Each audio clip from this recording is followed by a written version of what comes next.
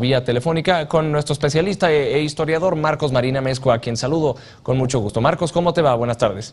Ricardo, muy buenas tardes, a tus órdenes. Muchas gracias por los minutos, Marcos. Bueno, pues como siempre un, un, gusto platicar contigo, pero sobre todo para explorar cuál es el sentido histórico de la Navidad, porque, bueno, somos un país multicultural y también en donde hay distintas religiones, así es que la Navidad también es algo con lo que se identifican eh, muchas personas, sin embargo hay un sentido histórico importante, ¿no? Eh, sí, claro, es, es correcto, es un proceso histórico, no solamente religioso, aunque claro, parte de un tema religioso, pero el concepto de la natividad, la nativitas, el nacimiento del Salvador desde la visión de los cristianos, es un eh, episodio particularmente importante porque no solamente ha permeado en la mente y en el imaginario y en la fe de mucha gente, sino que inclusive ha servido para determinar hasta el calendario.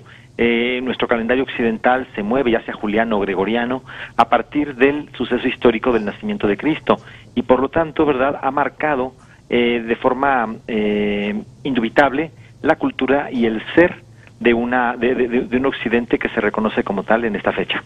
Absolutamente. Y hay un punto de encuentro también con la fe islámica, eh, si, si, bien recuerdo, ¿no? Porque la fe islámica también menciona a Jesucristo en algunas, en algunas ocasiones, pero lo trata más como un profeta, y también la, la fe judía, bueno, pues eh, no sé qué tenga que ver con, con, estas fechas navideñas, pero no sé si tú nos puedes explicar. Bueno, efectivamente, para el caso, eh, voy por la más antigua, la, la religión monoteísta más antigua, el judaísmo, eh, no reconoce en Cristo al Mesías, eh, entre otras razones, eh, argumentando que la profecía señala que vendría a ser parte de la casa de David y por lo tanto la casa del rey David supone ser una casa eh, ostentosa, una casa de poderío. El que nazca en un pesebre, ¿verdad? Rompe, ¿verdad? Si hacemos caso a los evangelios, rompe completamente con la razón de ser de esta, de esta profecía, aunque, ¿verdad? sobre todo San Mateo plantea en la genealogía de, de Jesús su, su abolengo regio.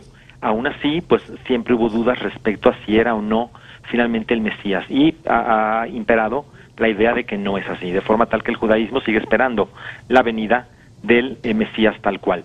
En el caso del eh, islamismo lo que entendemos es que efectivamente Cristo se convierte en un eslabón más en esta serie de profetas que anticipan verdad la presencia del Dios verdadero, pero como bien ha señalado, no se le concede tampoco el rango de divinidad, simplemente es un instrumento de Dios para eh, acercarnos hacia ese momento culmen en el cual la humanidad pues reciba eh, propiamente la, la, gracia. Y por lo tanto en el Islam pues tienen su propio profeta, tienen su propia eh, advocación divina y desde luego su propia eh, fe eh, estructurada muy diferenciada del cristianismo. Ya lo creo. Y ahora en cuanto a la, Nochebuena y la Navidad como la conocemos en Occidente, ¿no te parece que, que, la celebramos de una forma muy particular? Porque ya vivimos en un mundo muy globalizado y se mezcla, eh, pues evidentemente el sentido religioso, pero también los regalos, ¿no? La figura de Santa Claus o Papá Noel. Y a veces hay hasta un pues no diría un sincretismo, pero hay una mezcla muy interesante como recibimos la Navidad en México, ¿no? Efectivamente, eh, habría que distinguir dos aspectos, ¿verdad? El uno, el señalar que la celebración navideña se ha ido confeccionando a lo largo de los siglos y por lo tanto, ¿verdad? Las celebraciones del siglo I, del siglo V, del siglo X eh, han variado respecto a cómo nosotros percibimos el tema de la divinidad. Es, verdad que si una persona no es muy acercada a su fe o al culto religioso, la Navidad le pasa un tanto más por la fiesta o por eh, eh, algo que se marca, pero no necesariamente se vive desde la fe. Quien está más inmerso, pues posiblemente se dedicará a hacer algún estudio, ¿verdad?, sobre el significado de la, de la representación de Dios hecho hombre. Y luego también eh, muy importante lo que has mencionado, la, la, la, la confección de la Navidad en el caso mexicano. En su tradición particularmente católica, la presencia, ¿verdad?, de elementos como las posadas, como el nacimiento, que, que giran en torno, ¿verdad?, al, al, al, momento histórico en el cual se produjo la encarnación, ¿verdad?, de Dios eh, y por lo tanto hecho hombre, ¿verdad?, supuso crear un mensaje, ¿verdad?, que ha sido representado eh, de múltiples maneras a manera de poderlo vivir de manera mucho más cercana. Ya lo creo. Y bueno, y todo, todo, esto, como bien tú dices, sugiere una mezcla muy interesante. Y eso me lleva a la siguiente pregunta, que seamos creyentes o no, o no importa de qué forma veamos la Navidad, parece ser que es una muy buena época para retomar unos valores pues, bastante positivos y muy fundamentales, ¿no? El valor de la familia, de la unidad, de, quizás ver en, re, en retrospectiva, ¿no? Para ver qué está haciendo uno bien, que ha hecho mal y ver si en los siguientes días pues podemos retomar un poco ese camino perdido, ¿no? En algunas ocasiones.